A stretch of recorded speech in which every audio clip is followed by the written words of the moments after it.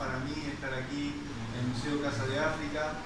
De alguna manera es como una segunda casa para mí, porque desde que comencé a venir a Cuba con mi querida madre, la doctora Leida Oqueto Barrios, y bueno, comenzamos a hacer actividades aquí con, Alberto Granado, siempre este, impulsor de lo que tiene que ver con la herencia africana en toda América y lo que a nosotros nos eh, conecta, que es la herencia africana en Uruguay.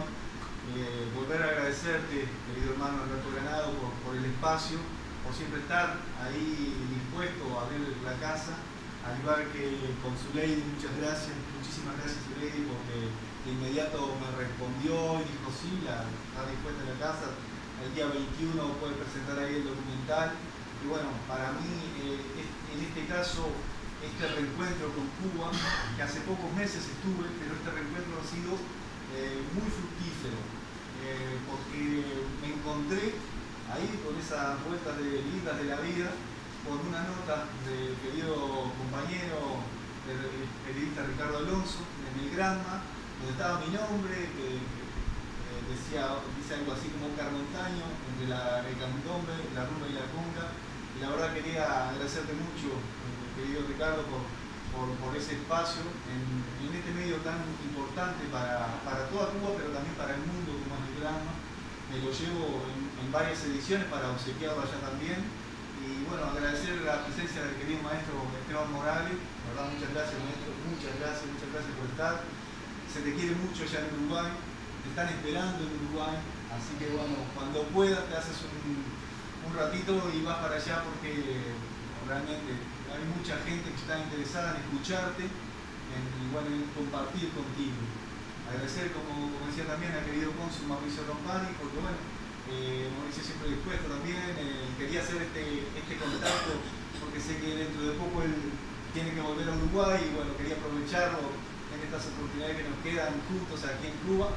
Así que muchas gracias, querido hermano, por, estar. Y por supuesto a la gente de Kizar, muchas gracias por estar. Muchas gracias, la verdad. Uh, muchas gracias, y a Kizar presente, por supuesto, también. Muchas gracias a Nelly, muchas gracias a toda la, familia Orlando Vidux, a Bueno, y a los tambores de Bucar, por supuesto, y a la tía Miriam, Miriam Gómez, que vino desde Cárdenas también acompañando, así que muchas gracias tía.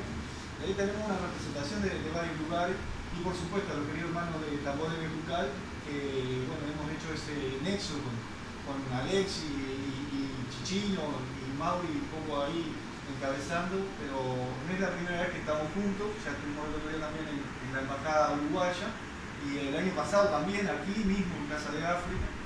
Así que agradecerles, queridos hermanos, por, por la presencia de ustedes, por ese apoyo ese ida y vuelta y que Dios mediante y todos los santos nos van a acompañar para que en mayo podamos hacer algo bien rico y lindo allá en, en Bueno, sin más, eh, agradecer la presencia de, las abuelas también, muchas gracias por estar y comentarles simplemente que este trabajo es un trabajo, yo no soy eh, creativo de audiovisuales, soy investigador de historia y escritor, bueno, y lo que hago es difundir lo que es la herencia africana en el Uruguay. Y siempre estaba con esa necesidad de hacer algún trabajo que fuera audiovisual para llegar a nuestros centros de enseñanza, que nuestras maestras, nuestras eh, profes allá en Uruguay tengan elementos para enseñar a nuestros niños, porque todavía está faltando mucho material en Uruguay. Eh, si bien el candombe ha ganado terreno, el candombe es la herencia africana en el Uruguay es muy similar a la conga en arrollar. Entonces la gente va adelante, va detrás de los tambores y son un número de 60 tambores, 60 tambores, eso imagínense el estruendo que es en la calle o en la gente, y bueno, la gente arrollando, como decimos en Uruguay, porque nosotros pronunciamos la Y, como usted pronuncia la, la L, arrollando, bueno, nosotros decimos arrollando, y de alguna manera eso ha ganado tanto terreno en Uruguay que no hay una sola, un solo departamento, es decir, una sola provincia en Uruguay que no haya una comparsa de candombe. En este momento se estiman en cerca de 200 comparsas y agrupaciones de tambores en todo Uruguay. Somos 3 millones de personas nada más, somos pocos, somos un país pequeño en medio de dos gigantes como Brasil y Argentina.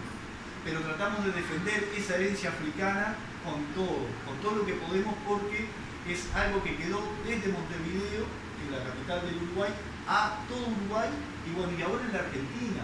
En Argentina hay más de 60 comparsas de candombe en este momento. Es decir, que se desplazado hacia Buenos Aires y hacia varias de las provincias argentinas. Y en Argentina le han prestado mucho oído al tema del candombe y no es que estemos celosos, pero nosotros tratamos de guardar lo que es el patrimonio inmaterial que ha sido declarado por la UNESCO, incluso como la rumba aquí en Cuba.